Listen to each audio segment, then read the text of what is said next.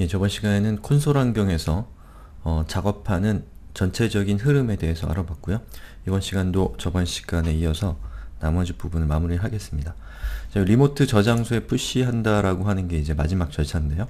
그러니까 여러분들이 로컬에서 혼자서 작업한 내용들을 잘 저장을 해놨잖아요.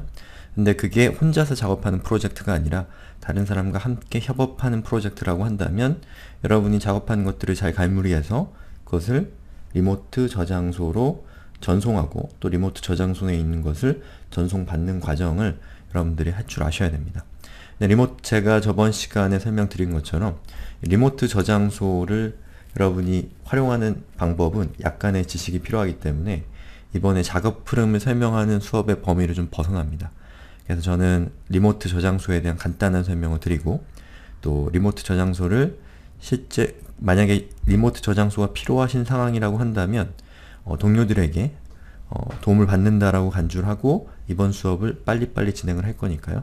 리모트 저장소에 대해서 궁금하신 분들은 우리 수업 중에 협업에 참여 또는 자, 협업 환경의 구축이라고 하는 부분을 어, 자세히 살펴보시면 되겠고요. 그렇지 않은 분들은 예, 그냥 그 정도 수준의 노력을 해서 여러분들이 협업하는데 협, 그, 그 정도 수준의 노력을 하면 협업하는데 아무런 지장이 없습니다. 그러니까 어, 본인의 상황에 맞게 학습을 하시면 된다는 거죠. 자 그러면 우선 리모트 저장소를 사용을 해야 되는데 자 저는 GitHub라고 하는 서비스 여러분 들어보셨나요? 이 Git을 사용하는 사람들에게 있어서 가장 유명한 서비스고 이 Git이라고 하는 이 버전 관리 시스템을 매개로 해서 이 수많은 open source 프로젝트가 이 GitHub에서 진행이 되고 있습니다. 아주 성공적인 서비스고 어, 아주 주목받는 서비스라고 할 수가 있어요.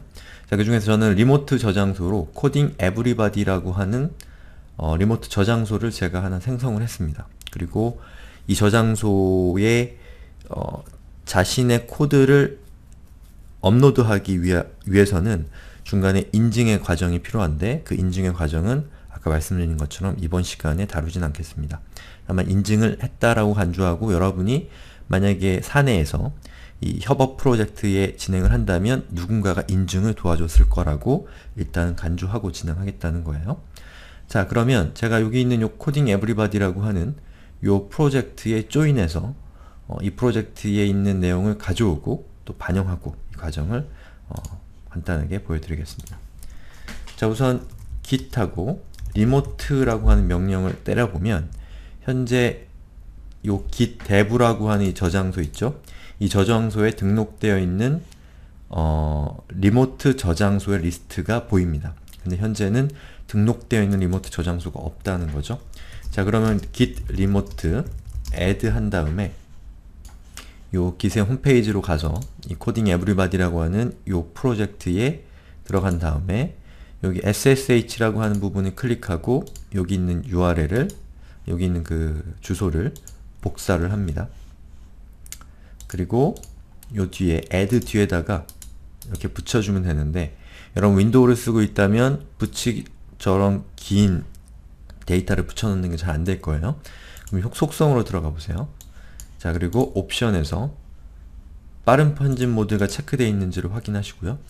빠른 편집 모드가 체, 빠른 편집 모드를 체크를 하고 다시 일로 이렇게 들어가서 여기 있는 내용을 복사한 다음에 이렇게 오른쪽 클릭을 누르면 예, 이 콘솔 화면에 여러분이 카피한 내용이 paste 됩니다. 자 그리고 git 리, remote add하고 제가 하나 빠뜨렸네요. 요 앞에다가 origin origin이라고 하고 enter를 칩니다. 자 그러면 아무런 메시지가 없으면 성공이죠. 예, 무, 무응답이 희소식이라고 할 수 있겠죠. 정책이 되게 무뚝뚝한 정책입니다. 자, 아무튼 git 리모트를 하면 이번에는 오리진이라고 하는 것이 이렇게 나타나게 되죠. 그리고 여기서 git remote -v라고 하면 이 오리진이라고 하는 요 서버의 별명이에요. 리모트 저장소의 별명입니다. 이 저장소에 접근할 수 있는 주소가 이렇다라는 것을 나타내는 거죠. 예. 자, 패치는 데이터를 다운로드 받는 그 경로고 push는 업로드 할 때 사용하는 경로인데 이 경로가 서로 다를 수가 있기 때문에 두 개가 별도로 나열되고 있는 겁니다. 자 어쨌든 저는 origin이라고 하는 이 remote 저장소를 지금 등록한 상태고요. 자 이 상태에서 제가 어, 서버에서 데이터를 동기화시키는 방법을 설명을 드릴게요. 자 제일 먼저 어, 흐름은 이렇습니다. 원격지에 있는 그 리모트 저장소에 있는 데이터를 먼저 내 컴퓨터로 가져오는 걸 먼저 하고요. 그리고 그 과정에서 발생하는 뭐 충돌이 있으면 충돌을 해결하고 또 충돌이 없으면 자동으로 뭐 합쳐지거나 아니면 뭐 여러분이 가지고 있진 않지만 서버에는 존재하는 파일이 추가되거나 이런 작업들이 자동으로 처리가 될 겁니다. 그 과정에서 직접 해야 될 일이 있으면 기시 무엇을 해야 되는지를 알려드릴 거예요. 어쨌든 서버에 있는 걸 자신의 컴퓨터로 가져올 때 사용하는 명령이 두 가지인데요. 하나는 자 git 패치가 있고요. 그리고 또 하나는 풀이 있습니다. 패치와 풀은 어, 비슷하면서도 다른 명령인데요. fetch 같은 경우는 remote에 있는 데이터를 가져오기만 하는 거고요. 이 pull이라고 하는 것은 remote에 있는 데이터, 데이터를 가져오고 그 중에서 내 컴퓨터에 있는 것과 내 local 저장소에 있는 것과 어, 충돌이 나는 그, 그 합칠 수 있는 부분은 자동으로 합쳐주고 또 충돌이 일어나면 이 충돌을 해결하라고 저한테 알려준다거나 이런 작업들을 어, 한꺼번에 하는 겁니다. 그래서 패치를 하거나 풀을 하거나 둘 중에 하나를 작업을 하시면 되고요. 저 같은 경우는 그냥 보통 패치를 하지 않고 풀을 씁니다. 풀하고 여기 help를 한번 때려 한번 살펴볼게요. 그러면 어떻게 사용하는지에 대한 요 도움말이 이렇게 나오죠. 그래서 여러분들도 사용하다가 궁금한 게 있으면 제가 지금 했 던 것처럼 여기 대시 대시 help라고 명령을 내리시면 보시는 것처럼 도움말이 나오는데 요거 윈도우에서는 이렇게 HTML이 만들어지면서 이렇게 브라우저로 볼 수 있도록 예쁘게 보여주는데 리눅스 환경에서는 그냥 명령 그 우리 보통 man page라고 하는 것처럼 보입니다. 예. 이렇게 보이지 않을 수 있다는 얘기예요. 자 그럼 여기서 git하고 풀이라고 하고요. 이건 뭐죠? 가져오겠다는 뜻이죠. 리모트 저장소에 있는 것을. 그 다음에 그 리모트 저장소를 명시해 주는데 origin, origin. 오리진이 뭐였죠? 아까 우리가 생성했었던 요 명령 기억하시죠? remote add origin 그리고 어, git 골뱅이 gmail git 아니 github.com 뭐 이런 식으로 나오는 거 그렇게 해서 origin이라는 별명을 가지고 있는 이 저장소가 등록이 됐잖아요. 그러면 여기 있는 origin이라는 것은 origin이라는 저장소에 있는 데이터를 가져오겠다라는 것을 명시한 거고요. 그리고 뒤에다가 띄어쓰기 하고요. master라고 적는데요. 이 master는 branch라는 겁니다. 자, branch가 뭔지 아직 배우지 않았기 때문에 branch가 지금 당장 이 git을 사용하셔야 되고 협업을 해야 되는데 어, branch가 뭔지 모르시는 분은 도와주시는 분이 알려주는 대로 쓰면 되고요. 나중에 이 부분과 관련해서는 자 제가 어, 작업의 분기라고 하는 부분에서 branch라는 부분에서 설명을 드릴 거니까 지금은 되게 수박 겉핥기식으로만 알려드리겠습니다. 그래서 이 GitHub란 사이트에 보면 자 여기 branch하고서 옆에 master라고 되어 있습니다. 즉 이 remote 저장소의 현재 이 부분은 이 master라고 하는 branch라는 뜻이고요. 요걸 클릭해 보면 이 여러, branch가 여러 개 있는 경우에는 여러 개의 리스트가 보이겠죠. 지금 하나밖에 없는데요. 어쨌든 현재 우리가 하려고 하는 것은 이 origin이라고 하는 remote 저장소의 master branch와 지금 현재 여러분이 머물고 있는 자신의 local 저장소, local 저장소의 branch와 동기화를 시키겠다라는 명령이 되는 겁니다. 자, 이거 좀 헷갈릴 수 있으니까 다시 한번 설명드리면 자, 여기서 git하고 제가 branch라고 하는 명령을 치고 엔터를 쳐볼게요. 그럼 여기 보시면 마스터라고 하는 게 한 줄이 쭉 나오죠? 이건 뭐냐면 현재 여러분이 머물고 있는 디렉토리, 즉 C의 dev의 git dev라고 하는 이 디렉토리가 마스터 branch에 포함되어 있다라는 것을 의미합니다. 그리고 마스터, 프라, 마스터 branch는 여러분이 branch라고 하는 작업과 상관없이 파일을 기- 저장소를 만들고 파일을 추가하고 뭐 이런 작업들을 하게 되면 자동으로 디폴트 값으로 마스터라는 branch가 만들어집니다. 그 다음부터는 여러분이 브랜치를 git 브랜치 뭐 add 뭐 이런 식으로 해서 branch를 생성을 하는 거죠. 근데 그거 그렇게 해서 만약에 제가 여기다가 어 coding is good 이라고 하고 엔터를 치면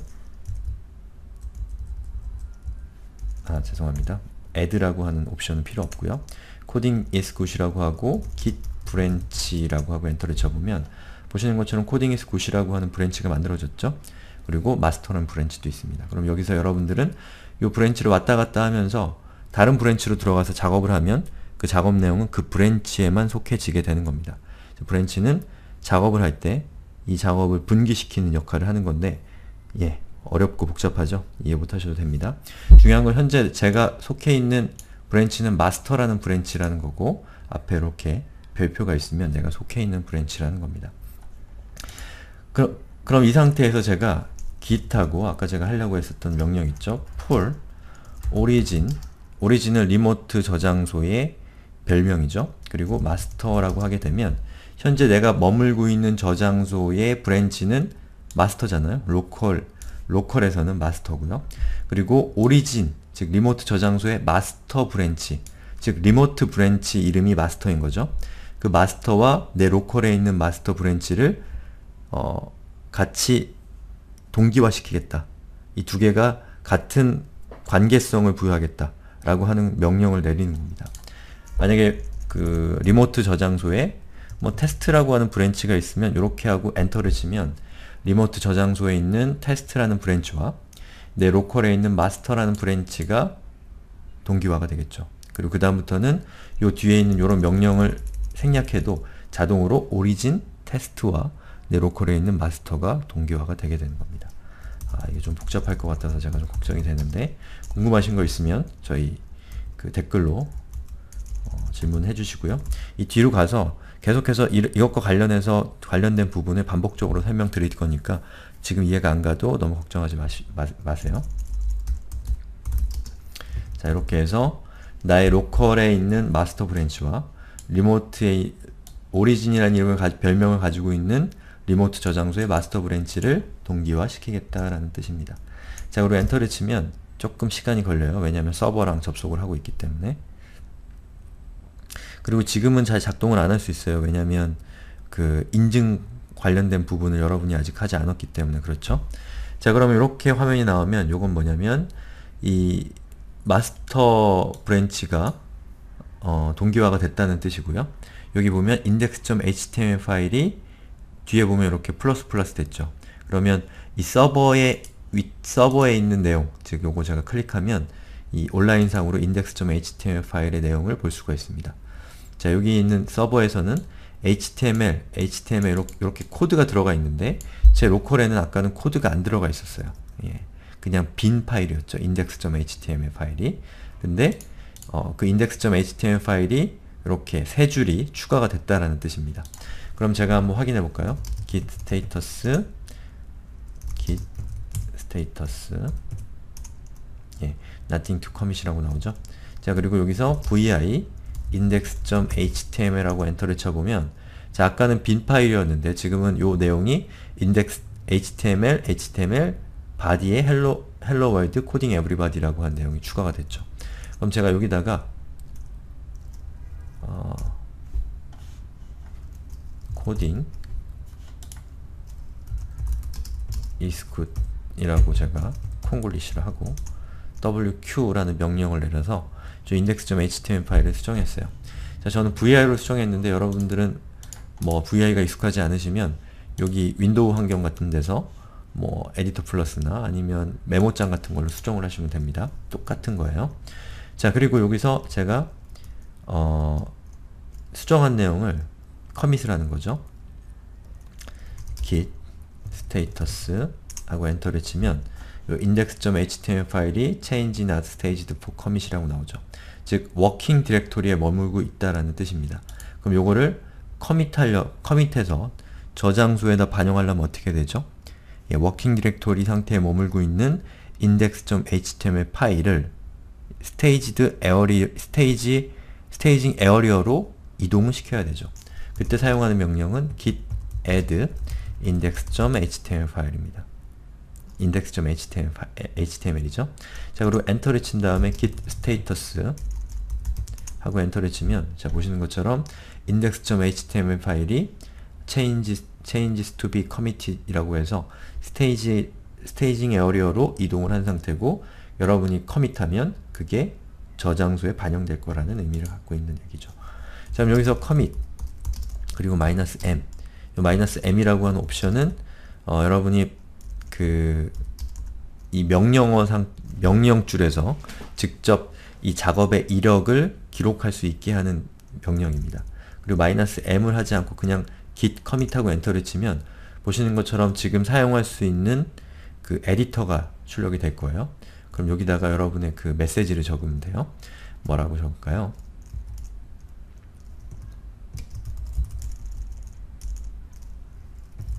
Add 어, coding is good 이라고 한 내용을 저장했고 어, ESC를 누르면 EXC 누르고 그 W WQ를 하면 저장하고 끄는 명령이 됩니다. VI에서 자 이렇게 한, 한 다음에 git status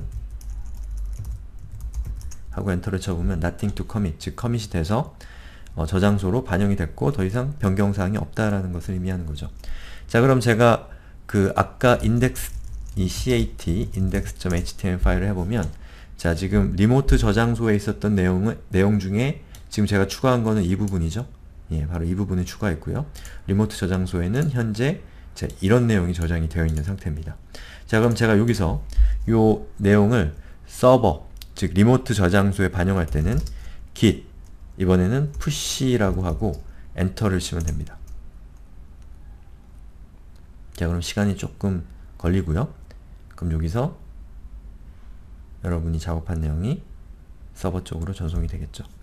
자 이렇게 요 비슷한 내용이 나오면 전송이 성공적으로 끝난 겁니다. 만약에 문제가 있으면 reject이라고 하는 메시지, 메시지가 나올 거예요. 그럼 제가 remote 저장소로 가서 여기서 reload를 해보면 자 여기 있는 index.html 파일에 coding is good이라고 제가 작업해서 어, 서버 쪽으로 업로드한 내용이 이렇게 반영된 것을 볼 수가 있습니다. 자, 제가 약간 여러분도 혼도, 혼란스러울 수 있는 상황에서 다시 한번 정리를 좀 해드릴 필요가 있을 것 같아서 다음 동영상에서 이 처음부터 끝까지를 아주 빠르게 한번 리뷰하는 시간을 다시 갖도록 할게요.